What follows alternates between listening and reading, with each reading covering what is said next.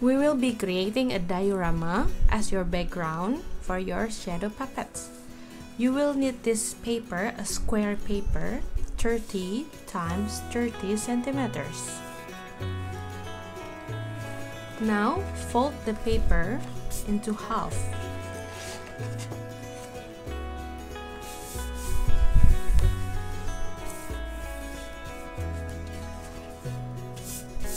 Fold again one more time into half.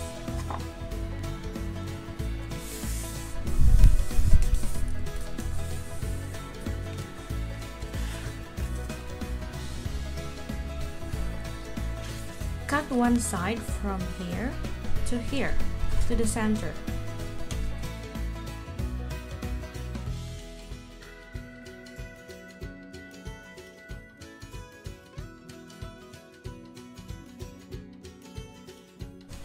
Now you can mark this part as you want to put a glue on.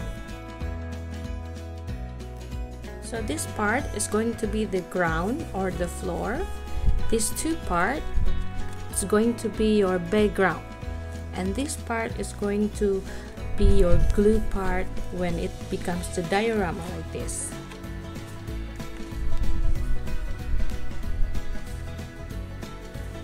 On the last art class, Miss Tia drew Indian traditional clothes. That means, for the background, I'm going to draw Indian's flags, Indian celebration, food, and musical instruments.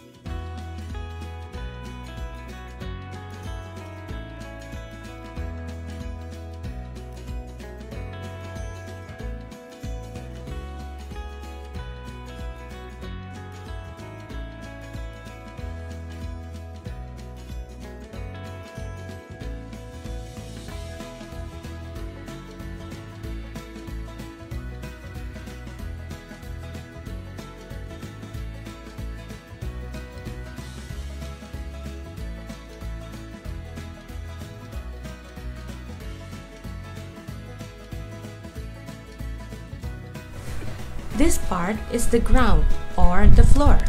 For coloring them, you can use watercolor